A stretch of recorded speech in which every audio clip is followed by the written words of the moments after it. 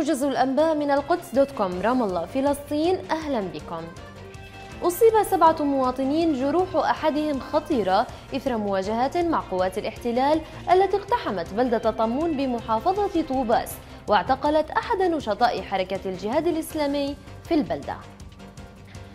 اقتحم عدد من المستوطنين والمتطرفين باحات المسجد الأقصى في القدس المحتلة محاولين تأدية شعائرهم التلمودية بينما شدد الاحتلال من إجراءاته وتضييقاته على المصلين المتواجدين في المسجد. قتل أكثر من 30 شخصا في ريف حماة فيما تعرضت مدينتا دارية ومعظمية الشام جنوب غرب دمشق لغارات من طيران حربي تزامنت مع استمرار الاشتباكات في المنطقة. وفي العراق قتل أكثر من 23 شخصا وأصيب 87 آخرون بجروح في هجمات متفرقة.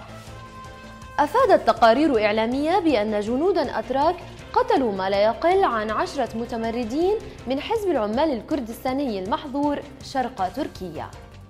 أظهر استطلاع للرأي أجراه مركز القدس للشؤون العامة أن 83% من الإسرائيليين يشككون بصورة أكبر في إمكانية التوصل لاتفاق سلام في الأراضي المحتلة.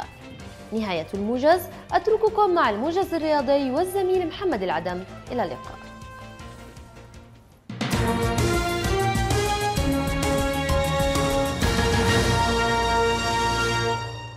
الموجز الرياضي من القدس دوت كوم أهلا بكم. مانشستر يونايتد يسعى للابتعاد بصدارة الدوري الإنجليزي عندما يغادر مساء اليوم لمواجهة ويغان أتلتيك على استاد دي دبليو في إطار مباريات الجولة الحادية والعشرين. من جانبه مانشستر سيتي صاحب المركز الثاني يستضيف فريق ستوك سيتي على ملعب الإمارات وتوتنهام يواجه ريدينغ وعينه على النقاط الثلاث لمواصلة حصد النقاط. في أخبار اللاعبين نادي سانتوس يقدم عرضا بقيمة 7 ملايين يورو لضم المهاجم روبينيو من صوفي ميلان الإيطالي خلال فترة الانتقالات الشتوية الحالية. ليفربول الإنجليزي يفشل في التوصل لاتفاق مع ناديه برشلونة الإسباني لاستعارة مهاجمه ديفيد فيا حتى نهاية الموسم الحالي. أخيرا مجلة الأهرام العربي المصرية تختار وللعام الثاني على التوالي السباح التونسي أسامة الملولي أفضل رياضي عربي وتتوجه بجائزة النجم الذهبي. نهاية الموجز الرياضي إلى اللقاء.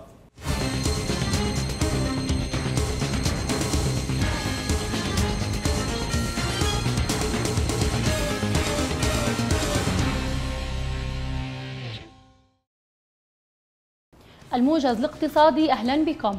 حددت حكومة غزة المقالة أولوياتها للعام القادم وجاء على رأسها إعادة إعمار القطاع والحد من البطالة التي بلغت نسبتها نحو 28% حتى نهاية تشرين الثاني من العام الماضي.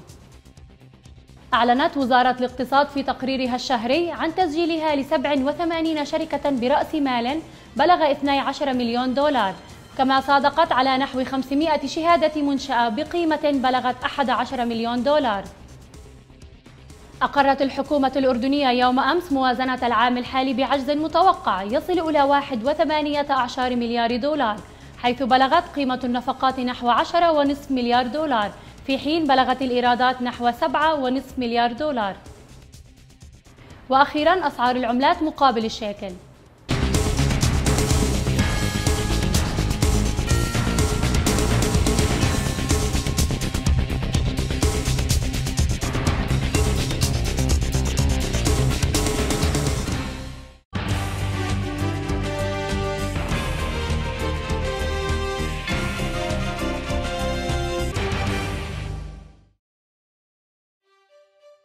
أهلا بكم إلى جولة في الصحافة العربية والعالمية من القدس دوت كوم. تناولت الصحف العربية والعالمية في أعدادها الصادرة في اليوم الأول من العام الجديد عدة عناوين على رأسها وضع العملة المصرية مع تصاعد الأزمة السياسية بالإضافة إلى التوسع الاستيطاني في الضفة الغربية إلى جانب انتقادات سعودية للنساء اللواتي يستخدمن تويتر. البداية من صحيفة القدس الفلسطينية والتي أبرزت عنوانا على رأس صفحتها الرئيسية تقول فيه ترحيل ألف مواطن من الأغوار غدا ودعم حكومي إسرائيلي وامتيازات واسعة ل 87 مستوطنة بالضفة وتوزيع إعلانات لطرح بناء 17 وحدة استيطانية في رأس العمود. في الشأن المصري كتبت صحيفة الحياة اللندنية في عرض صفحتها الأولى تحت عنوان الأزمة السياسية تتفاعل والجنيه يتهاوى ومرسي مطمئن الجنيه المصري يسجل انخفاضا حادا أمام الدولار الأمريكي إثر احتدام الأزمة السياسية والرئيس مرسي يؤكد أن ارتفاع الدولار لا يقلقه ولا يخيفه. أما صحيفة المستقبل اللبنانية فتابعت الملف السوري وتحدثت عن مقتل نحو أربعين ألف شخص في الأحداث الدائرة في سوريا خلال العام الماضي غالبيتهم من المدنيين حسب قول الصحيفة. إلى العراق حيث تحدثت صحيفة الشرق الأوسط السعودية عن اتهام رئيس الوزراء العراقي لتركيا بتقسيم العراق بصفقة بائسة مع كردستان حسب وصفه. وأكد المالكي أن السياسة التركية وضعت العراق على كف عفريت معتبرا أن تدخل تركيا في هذا الشأن يفتح الباب لتدخل الدول الأخرى.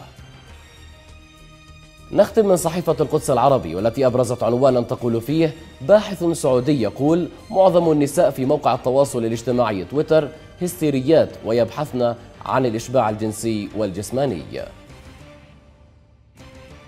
أخيرا أترككم مع أبرز ما نشرته الصحف العربية والعالمية من رسوم كاريكاتيرية.